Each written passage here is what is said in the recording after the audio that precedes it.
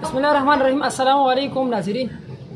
मैं आज आया हूँ Gomal university city campus for science department के सामने खड़ा हूँ। यहाँ पर हम एकरा मैम के साथ हम बात करेंगे, एकरा मैम से हम इंटरव्यू लेंगे। फ़ूड के हवाले से कि आजकल गर्मियों का दौर है तो गर्म में कौन सी खुराक हमें करनी चाहिए, कौन सी खुराक से हमें परहेज करनी चाहिए? इसके हवाले से अब हमारे साथ रहिए, आखिरी तक। तो हम जाते हैं मैम एक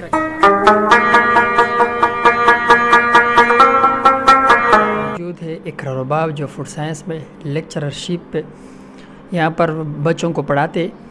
तो इनसे हम जानते हैं कि इस सख्त गर्मी में कौन सी खुराक करनी चाहिए कौन सी एहतियाती तदबीर करनी चाहिए। सबसे पहले मैं तो आपको खुश आमदीद कहता हूँ। Thank you so much for inviting me और जैसे अभी आपने फ़ूड की बात की, गर्मियों की बात की तो गर्मियों का टेम्परेचर राइज़ हो रहा है, आपको पता है फोर्टी नाइन फिफ्टी तक टेम्परेचर जा रहा है। इस मौसम में सबसे ज़्यादा जो मसला आता है वो डिहाइड्रेशन का आता है। तो हमें ये ख्याल करना चाहिए कि हमने डिहाइड्रेशन को किस तरह से रोकना है या किस तरह से प्रिवेंट करना है, अपनी बॉडी को हाइड्रेट कर रखना है हमने। तो सबसे ज़्यादा हमें पानी जो है उसका इंटेक करना चाहिए कि वाटर जितना ज़्यादा आप कंज्यूम कर सकते हैं वो करें। फिर ऐसे फ्रूट्स ऐसी वेजिटेबल यूज़ करें जिसमें वाटर कंटेंट ज़्यादा है। ऑलमोस्ट सभी जो फ्रूट्स हैं या वेजिटेबल्स हैं, उनके अंदर वाटर कंटेंट ज़्यादा होता है मॉइस्चर ज़्यादा अमाउंट में होता है तो हम अपनी बॉडी को उससे हाइड्रेट रख सकते हैं। फिर गर्मियों में जैसे हीट आपका ऐसा फील होता है स्टमक आपका हीट अप हो रहा है तो उसमें आपको कोशिश करनी चाहिए कि प्रोटीन रिच और फैट वाली जो डाइट है, उसको आप अवॉइड करें। क्योंकि प्रोटीन और फैट जो है, वो बहुत ज़्यादा टाइम लेती है डाइजेशन में।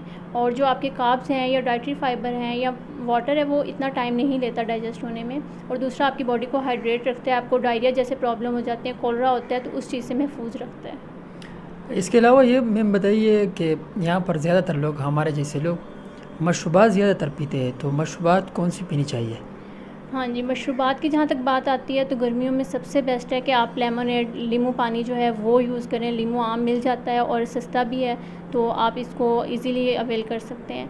उसके अलावा कोकम्बर आ जाता है कोकम्बर मार्गरीटा या पुदीना मिंट मार्गरीटा उसको आप पिए, वो आपको बॉडी का हाइड्रेट रखेगा। उसमें आपका टेम्परेचर जो बॉडी का है, उसको मेनटेन रखेगा इन्वायरमेंट के लिहाज से।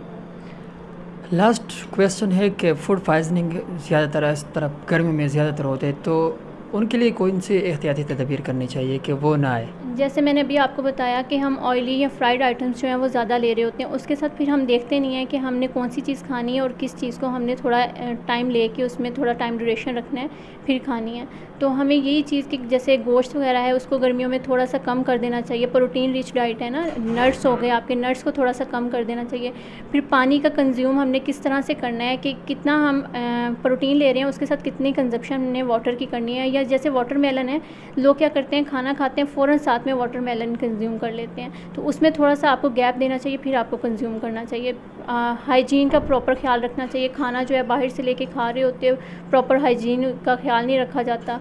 तो उस वजह से जो है कोलरा के मसले ज़्यादा होते हैं हैज़ा वगैरह के या फ़ूड पॉइजनिंग जो है उससे ज़्यादा होती है। जी, बिल्कुल नाजरीन, जिस तरह आप लोगों ने इकरा मैम की बात सुनी कि आप लोगों ने बाहर से खाना नहीं खाना, ना अपने घर में खाना खाना है। इसके अलावा अपने जो प्रोटीन की जो हज़ाई खुराक है, वो आपने ज़्यादातर नहीं खाना है, अपने हल्का सा खुराक खाना कैमरा मैन आलिया ख़ान के साथ सुहेल जलन दावड़ टी ट्वेंटी न्यूज़ डरसमेल खान।